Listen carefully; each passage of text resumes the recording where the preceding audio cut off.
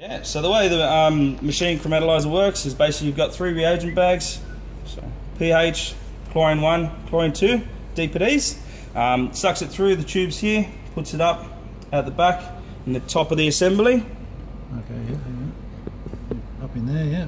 Yeah, the assemblies, um, the hoses then go into the top of the test assembly itself, puts it in a chamber, and basically this, um, uh, the, the peri pump which is on, on this test assembly pulls the reagents and samples in, and basically there's a little uh, tab on the right hand side which is like a light, so tests it via light, so like a photometer.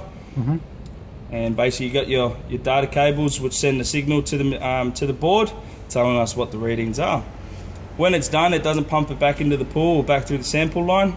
It pumps it out down the waste line, which is this black tubing out the back there. Okay, yeah.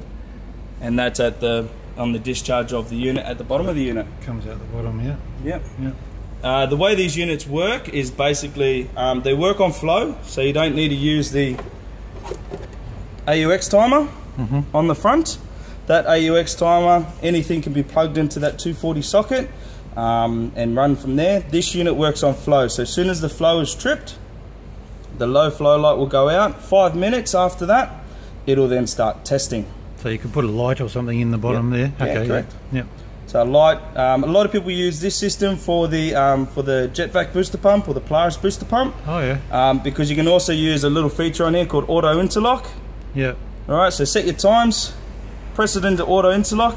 That will that means that this AUX timer will only initiate that socket at the bottom of the unit Yeah. when the flow switch has been tripped. Okay. So if the other pump has a problem, then it won't turn the It won't jet back on. on. Yeah. Correct. Cool. That's Correct. good. So that's, a little good. feature on this unit, Yeah, yeah. Um, and going from there. Um, besides that, maintenance issues. Um, obviously, you get your peri pumps are on the side of the unit. So this one's a CPS3. Yeah. So you got your chlorine and acid peri pumps. Yeah. Um, majority of the time, it doesn't get this bad. We got rust showing, So that's your normal squeeze tube pumps there. Yep.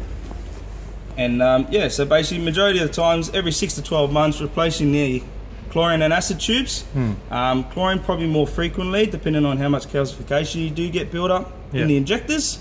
Um, but otherwise, uh, that's the main maintenance. Every six months, the bags Yep. um, uh, should be replaced. And these are reading ppm chlorine, not ORP for my guys. Yeah, from the Hurlcons. Yeah. And um, so that's essentially, in a nutshell, how they Yep. And they marry up with the salt chlorinator. They can marry up with um, they marry up with the um, Puresilk saltwater chlorinators via data cable, or you can also marry this up with an external chlorinator, for example, a Hurlcon Yeah. or a Zodiac, um, and you can basically plug them into the bottom of the unit. Not on this particular model though, because this is, is a CPS3. Yeah. which is a chlorine and acid model only. Uh, on the CPS2, you can adapt the chlorinator, uh, any brand of chlorinator to that. Not a drama at all. Cool.